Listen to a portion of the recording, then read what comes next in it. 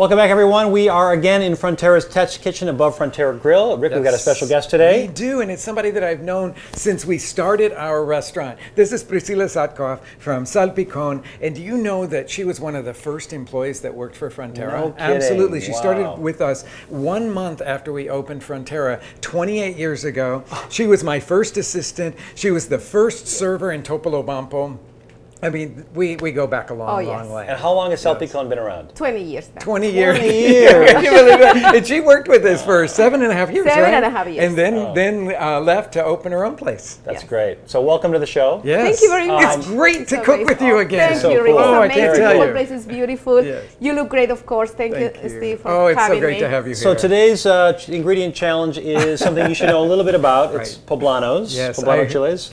I'm really happy to be sharing this this cooking segment with Something Priscilla. that we grew up with, but also it's a staple of Mexican food. Yes. Okay. Absolutely. So why don't you explain the rules? Okay, well, we've got five ingredients plus the chiles, and we don't count oil, we don't count salt and pepper. Okay. So that's it, 15 minutes to cook.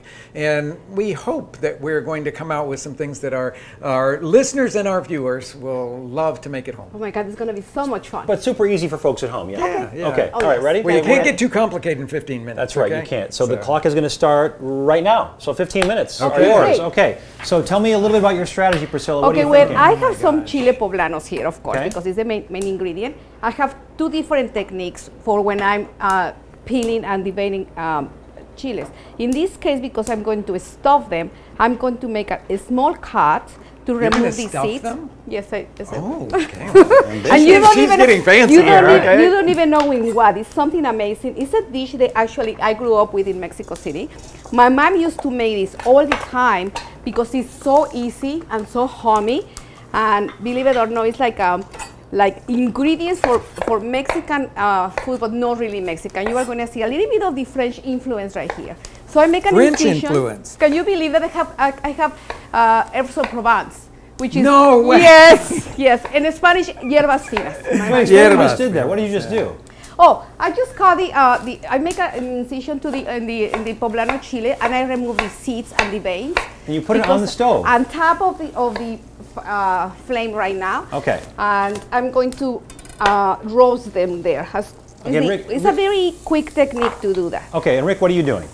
I've chopped up some white onion, the classic onion of Mexico, and I'm going to cook it in a little bit of butter. But the first thing that I did was to put these chilies on because they are going to take the longest time. So I'm roasting them directly over the gas, and we'll see how far we get into this. Priscilla asked me before we started, You're going to roast the chilies? And I said, Yes, I'm going to roast the chilies. So we'll see. That should take about 10 of the 15 minutes of this Wow. thing. Okay, so but then everything- I'm making a soup so I can blend them in right at the last minute. Okay, so we'll really be watching our timing then. Okay. Yes. Because they've got to be blackened on all sides, yeah? They do, and uh, well, we'll see how far we get. Yes, I think So you're going to do three of them? I'm gonna just make three for the staff and for oh, us to taste, of course. good. So we don't have to take just tiny little Thumbs bites up around today. the entire room here. But Okay. also what I was going to mention about the technique that I use, before I start roasting the chiles, I actually remove the seeds. The, the technique that Rick is doing is actually roasting them with all the, uh, the With seeds everything and in it. veins because he's going to blend them, I believe, or he's going Right. to chop them so it doesn't Right. really matter. This is so great. So rarely do we get a guest that actually knows the ins and outs of Rick Bayless, like, knows his strategies. loving this. I'm not Yeah, trying to it's like- Have you. you noticed? Have you noticed how quiet I'm being in this whole thing? I'm just letting Priscilla do it. all. Yeah. Now, uh, what I'm doing right now, I'm, I'm using green beans. You can use the uh, regular green beans or the uh, the haricot verts, which are the uh, French green beans, and I and I'm cleaning the ends, and I'm going to cut him in like a one inch uh, size, because I'm going to stuff the poblanos with. It's so funny. The body language is interesting for this challenge because Priscilla is just very comfortable right now, even though she's in, you know, not her home turf, so to speak. Rick, meanwhile, he's got the two chilies going on. He's trying to get them all black, and he's working his onions and his butter.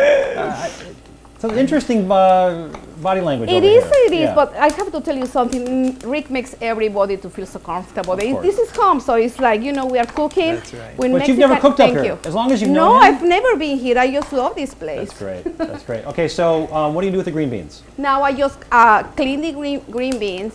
and I actually cut them like a one inch uh, size Mm-hmm. because I'm going to mix it with some tuna and I'm going to stuff the chili. So we don't want the whole green beans, Okay. uh, like very big ones. Now Rick is adding what chicken Some stock? chicken stock, yes. Just That's going right to out be of the, box, not right out fancy of the box. How much did you add roughly to the onions and butter? Um, about a half of a quart. There, are a couple of cups, and now I'm putting in some corn, and I'm just using frozen corn. Again, this Yeah. is when I'm cooking at home. This is what it would be like, um, unless it was corn season. And I always do this this soup at home when it's corn season. But then I would have gone to the the uh, Del- farmers market and gotten it. We're a third of the way through already, so 10 minutes left. Ooh, How are you ooh. feeling? Yes, Exciting. I'm, I'm doing Okay. better because I'm getting close to done with these chilies, and I Me was too, worried about exactly, that. I- I think I'm doing the same right uh-huh. now. They're Now, blackened to your uh, They- liking? They're getting close for me. I've got one here that's a little further along than the others. But I will say that there, some of our listeners and viewers might not know why we're roasting them, and we both do that sort of automatically. It's because a poblano has a really tough skin, and you want to get it off of there. Okay. And the other thing about the poblano is that its flavor really blossoms when it's cooked. And we should also point out for folks listening to us um, on our iTunes or SoundCloud or Stitcher, you can go to our YouTube channel, the Feed Podcast, and watch this entire competition. Or if you're just watching us on video, please download the free podcast. Go to iTunes or SoundCloud and uh, listen to the Feed Podcast. About eight minutes to go now, nine minutes to go. Okay. Okay. So think what I'm I did right it. now, I actually finished roasting the poblano chiles. And you covered them. I cover in a them. You can cover them with something. In this case, I'm using like a plastic bag. Okay. You know, and I'm going to let them steam for a few minutes. In the meantime, I'm going to toast some almonds. In a dry skillet, I'm going to put a little bit of almonds. I'm going to toast them. Okay. And how Uh, long, and again, how do you know you're going to add them to a really hot pan, it looks like? Yes. Because, So you how know, long in the pan? Just it's very, very quick, like 30 seconds, 45 seconds. Okay. It goes very quick. And I'm boiling now my green beans. Okay. Also. You're boiling them in the Salted water. Salted water. Yes. Okay. And now I'm so we're going going to to just toast those for a little bit. Yes. And I want to come back to Rick's cutting board because he's really working fast and furious now Oh my God, Rick. on the poblanos. What have you done? Okay, well, I've just cut them in half, and then I'm cutting the seed pod out of each half. Now, don't we?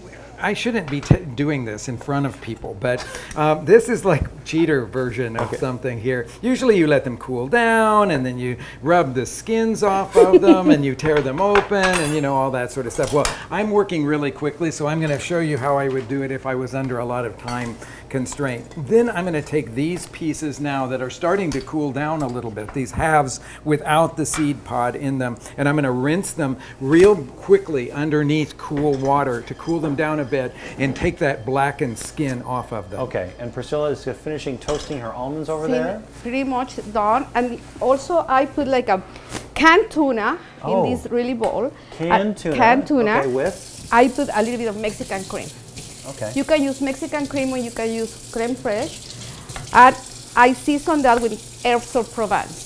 oh, okay. That doesn't seem very Mexican. No Mexican at all, but Okay. believe me, it works. It's very, Seven actually very to, delicious. seven minutes to go. Rick is rinsing his poblanos. This was just canned tuna packed in uh, oil or packed in water. It's either one. You can use Okay. either one. I believe right. there was enough. So I'm going to check the poblanos right now, and I'm going to see if they are easy to peel. And one technique that I use, I, actually something that I use is I use like a zester, like this for this is for oranges or Take for orange zest off. Yes, Yeah, orange okay. zest. I mean. You use that for your roasted poblanos. Yeah, Well, I don't want to burn myself. Oh, okay. so then I'm toasting, finishing off my um, almonds. They're going to be ready in any minute. And I just started scraping. Oh, look at that. the That is a great technique. Taught Rick this, obviously. no, Are actually, you he did. kidding? I'm over here in a bucket of water. He is really, he's, let's check it out. So I'm Look just him. feeling. Look at how nervous he is. Look, He's, he's working it, he's working it. I want to see what Rick is doing. So you've, you've gotten all the black off, yeah? Yes, And well, most of the black. I actually don't do it completely because I like the little bit of char flavor. Um, that's sort of the kind of hallmark of my food is it's pretty rustic like that. So I'm just roughly chopping now the cleaned pieces of poblano Okay. and I'm going to put them into the blender jar to blend them smooth. And I'm saving some out that I can use as a garnish here. So all this poblano will go in here with um, the ingredients that I've got uh, in the pot here, which is the cooked, cooked um, onion in butter with corn and the broth. I love Priscilla's technique. Five minutes to go. We are two thirds of the way through. Five through. minutes, okay. Uh, that that zester is a great tip. She's straining her green beans over It's there. a little right bit. here. Yep.